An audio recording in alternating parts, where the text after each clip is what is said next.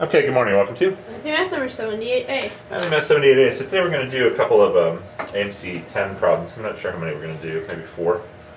Um, this is problem 17 from the uh, 2006 AMC 10B. This is a problem, and you have not seen this problem before. So it says Bob and Alice have a, each have a bag that contains one ball of uh, each of the colors blue, green, red, orange, and violet. We substituted um, white and for red because the violet and the red were hard to see differently on camera. Alice randomly selects one ball from her bag and puts it in Bob's bag. Bob then randomly selects one ball from his bag and puts it into Alice's bag. What is the probability that after this process the contents of the two bags are the same? Okay, you understand the problem?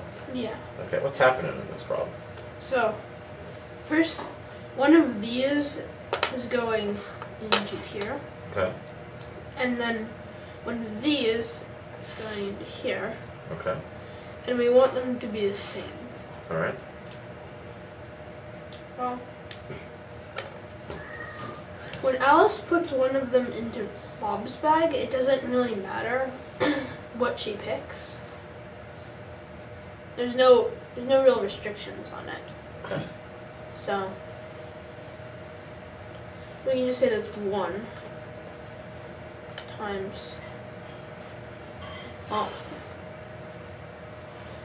When this happens, Bob needs to choose one that's the same of as the one Alice put in. Okay. And these are these are identical, right? Well, it says, what is the probability that after this process the contents of the two bags are the same? So I think putting this in is the same as putting this in. Interesting. Okay. So then you have six. So the probability here is one third. That you're gonna pick one of these two blues, I mean, not whites, to go here All right. And why is it one third? because you have six things and you need, and there's two of them that are good. Okay.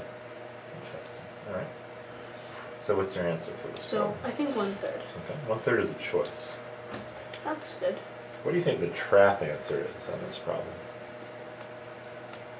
What's a what's a mistake that Well- the people writing this problem thought you might make? Maybe one sixth. Okay. Why? Why would one sixth be the trap answer? Because they would think it has to be exactly the same.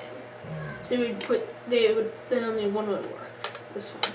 Ah, okay. So one sixth also is a choice, by the way. But you did not fall for the trap.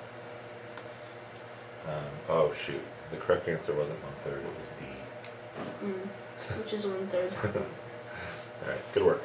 All right, here's the next problem.